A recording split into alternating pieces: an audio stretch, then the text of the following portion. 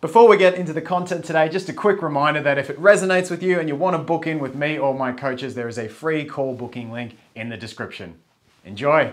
What makes giving oral sex great for a man and what makes it terrible? I surveyed 300 men and I have the average of all the answers and a few of the answers ready to report to you. Gonna be an interesting one. I surveyed these men and asked them three questions. Specifically, the questions were number one, what factors make you enthusiastic to give oral sex to a woman? What makes it really enjoyable? Just great for you. Question two, what factors make you hesitant or straight up averse to giving oral sex to a woman? What makes it really bad for you? And number three was, how important is shaving and waxing when giving oral sex to a woman? Those were the three questions I I feel like I'm on Family Feud. I surveyed 100 men and the top three answers are on the board. What were the conclusions? Let's start with the first one. Let's, what was good? What makes men enthusiastic? What do men love about giving? What makes them, yeah, love giving oral sex to you? What makes them really enthusiastic? Here's what we found. Here's what we learned. I found this interesting. What makes oral sex really, really good? The biggest category of answers, over 40% of the answers, was the vibe and her responses. The sexual vibe, her responses. Uh, let me give you a few examples. The mood is number one. If there's a sexual vibe, that makes me enjoy it the most. Enthusiasm. That answer came up again and again. The sounds she makes and her reaction to it. So all these mood-based answers kept coming in. Uh, there was quite a few validation answers. We'll get to those in a second. Physically seeing how much she is enjoys it, and is aroused by it and is pleased by it. The body movements, her moaning with pleasure, enjoying her scent and her movement, pleasure to my partner. There was one where he was talking about, I just love pleasing my wife, which was really sweet. Her moans, her being into it, when I can tell they're enjoying it, when we have a great connection. The thrill of her enjoying it, her response, her being vocal, vocal. 40% of answers, almost half the answers about what makes it great for men were your responses and your enjoyment of it. I thought that was really, really cool. Now, the next category of answers was relating primarily to hygiene. And there was one word that kept coming up. I noticed this more than any other word, which was clean. Guys were saying, hey, clean if she's waxed and if she gives responses. If she's clean and into it. If she's well groomed. If she's clean and really enjoying it clean and attractive, clean down there, just got out of the shower. Heaps and heaps on those ones. Shaved, clean, cleanliness. Kept coming up again and again.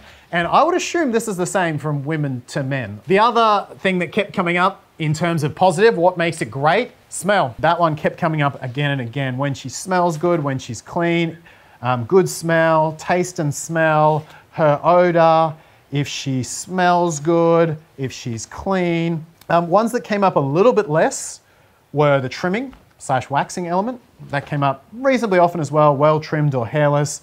The woman is really into it and shaved, clean shaven, well trimmed, just out of the shower when she's waxed. These were about 30% of answers.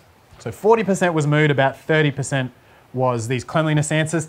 And the other one that came up a bit was taste, but they were basically in that order. Clean was the number one and smell was close and then taste and waxing were a little bit less. But that was the that was the majority of answers. A few other categories did slip in though, and there was a couple of nice answers. Let me just see if I circled them. My love for my wife, I thought that was a sweet answer. My love for my wife is what makes me most enthusiastic, how attractive and amazing she is. The intimacy and the kink. The satisfaction to my partner came up a lot. It was interesting, I didn't notice too many answers that were orgasm obsessed. Not too many. There were some, and there was a couple that said, I'd say five or 10, that said, oh, the challenge of getting her to orgasm, which is probably not the best mentality, uh, but a significant number more were talking about the pleasure rather than the orgasm. Now, I realize sometimes they can be tied together, but overall, I thought that was really, really good. Uh, other categories, my love for her, there was a big category on sort of about 10% of answers, my love for her, my wife's pleasure, the pleasure feedback loop, giving her pleasure.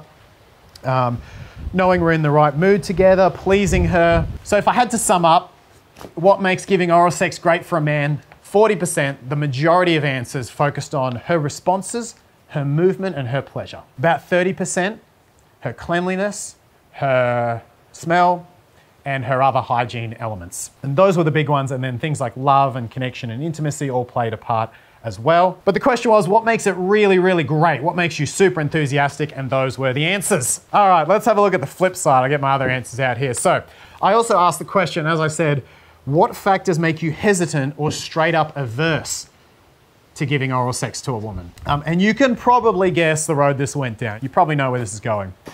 Uh, almost 50% of answers relating to hygiene. So it was interesting. I found it interesting that while the experience factors, the responses, that's what makes it really great. You know, that's what can make it a 12 out of 10 is those experience, her responses. What can make it a 0 out of 10 is hygiene. So you can have great hygiene and not so much response, and the guy can still have a great time. But even if you grab great response, uh, if the hygiene is toast, the guy's probably not having a great experience. Let's have a look here. So some of the most common answers in the hygiene department. So lack of personal hygiene, poor smells, poor hygiene, bad hygiene, um, poor cleanliness, sweat or smell. These answers came up a lot. Doesn't pay attention to good hygiene, hygiene, hygiene, hygiene, cleanliness, smell, unhealthy, unhealthy, un unshaved. There was a couple there, and, and a few guys did say that. Um, I'll talk about that in the answer to the third question actually, but I think hair is also one of those factors that can make it really, really good if it's really well done, but doesn't necessarily make it really, really bad if it's not. But the hygiene elements do. That was what I got from this. The next one that came up secondary was interesting was actually shyness and lack of responsiveness. So that kind of goes hand in hand with the opposite to what makes it really enjoyable. Um, lack of communication, when they have no response, the mood. What else do we have? If she makes it awkward and really awkward.